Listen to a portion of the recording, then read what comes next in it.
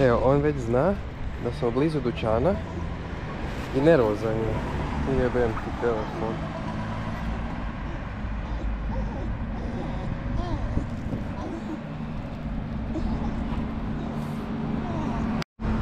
On već zna da smo blizu dućana i nervozan je.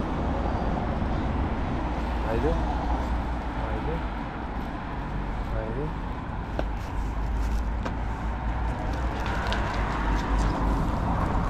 Evo, dućan je manje od 100 kvadrata.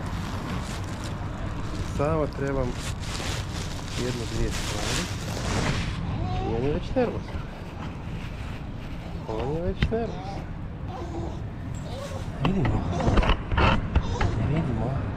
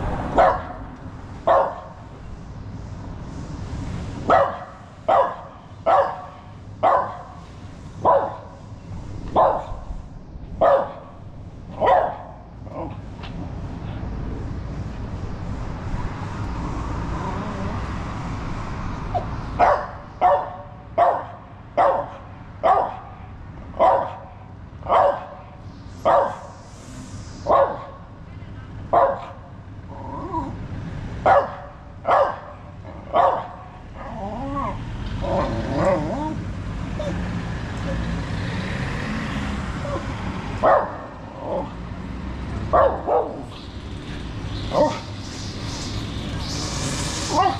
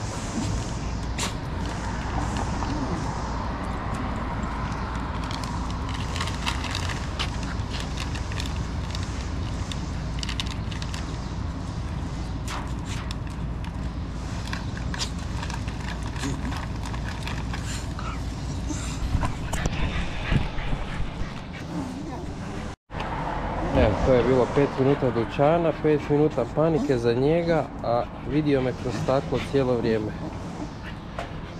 To je tako. Nije se naučio odvajati i to je to.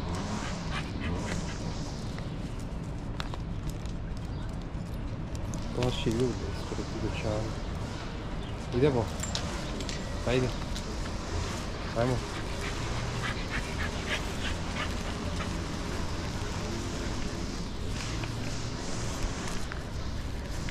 Sad je opet miran.